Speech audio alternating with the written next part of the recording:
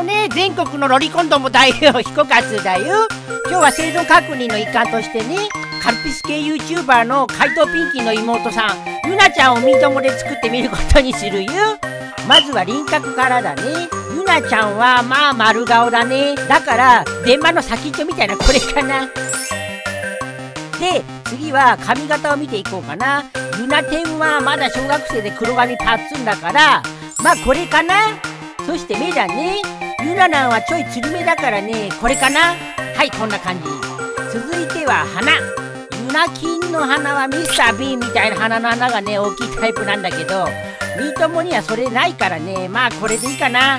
鼻の穴の大きい人はね鼻毛出やすいから注意だよ。そして口。ユナタンポの口は噛み合わせがねそういればの模型みたいにがっちりしてるからね。これかな？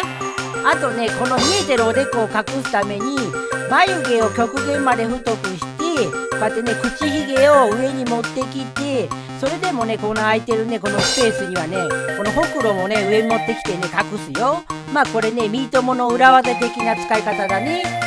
でもこれ横から見たらすごいことになってたけどね。髪の毛との段差よ。最高かよ。そしてあとはねなんだかんだ微調整すればね。完成だよ。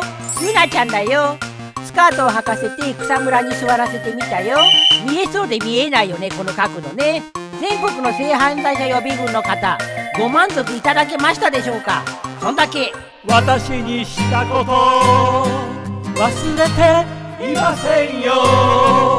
パンチラで思い出したんですが家路さんのゲーム実況チャンネルの方でめちゃめちゃ存分にパンチラが拝めるゲームの生実況をやりだしたみたいです。ちなみに私もスマホにメガネが張り付くぐらいの近距離でそれを見ています。